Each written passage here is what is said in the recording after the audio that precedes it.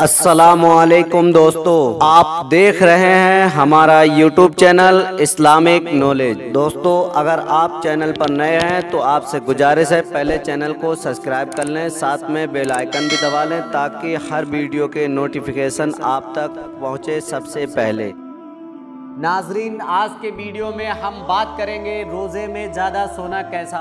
ये जानने के लिए हमारे साथ वीडियो में लास्ट तक बने रहें। आइए चलते हैं वीडियो की तरफ़। हज़रतुल इस्लाम, हज़रत सैदना इमाम मोहम्मद गज़ाली रदी अल्लाह तहों कीमियाए शहादत में फरमाते हैं, रोज़ेदार के लिए सुन्नत ये है कि दिन के वक्त ज़्यादा देर ना सोए।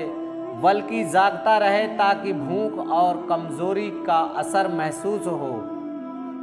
नाजरीन, साफ़ ज़ाहिर है कि जो लोग दिन भर रोज़े में सोकर वक्त गुजार दें, उसको रोज़े का पता ही क्या चलेगा। ज़रा सोचो तो सही, इमाम मोहम्मद गज़ाली रदी अल्लाह तहों तो ज़्यादा सोने से मना फरमाते हैं कि इस तरह भी तो वक्त पास हो जाएगा। तो जो लोग खेल तमाशों और हराम कामों में वक्त पास करते हैं, वो किस कदर महरूम व बदनसीब हैं। नाजरीन, इस वीडियो से हमें ये पता चला कि रोज़े की हालत में ज़्यादा सोना नहीं चाहिए।